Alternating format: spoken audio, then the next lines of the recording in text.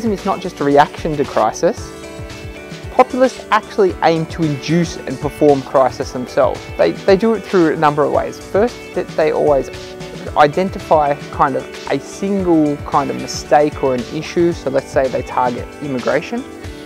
Then they try to link it to a wider set of problems. So immigration is actually linked to unemployment because migrants are coming in and taking your jobs. And actually it's linked to gender as well. They're harassing your women on the streets and so forth. And then once they've linked that, used media to propagate the crisis, linked all these issues together, then they can present themselves as the one who can solve the crisis. I think we need to recognise populism is part of democracy because it does share this central audience of the people and democracy is about the sovereignty of the people.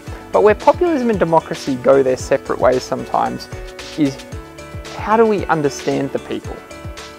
In democracy, the people um, are understood generally as a relatively plural group.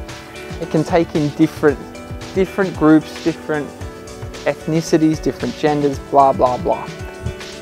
In populism, the real worry is that the people are, are the only legitimate actors in society and anyone else is not part of the people. Put Spain and Greece, the cases of populism there, uh, to the side for the moment, those left-wing cases of populism, because those, those uh, characterizations of the people are far more open, are far more exclusive, we, we could, so, sorry, they're far more inclusive, we would say, compared to the more right-wing forms which are exclusive, which are about keeping people out.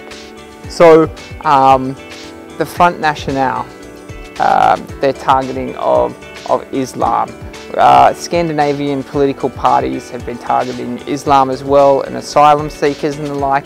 This, this, uh, the perception of the people there definitely has an ethnic component. It's nativist politics, protecting the homeland from these invaders to some extent.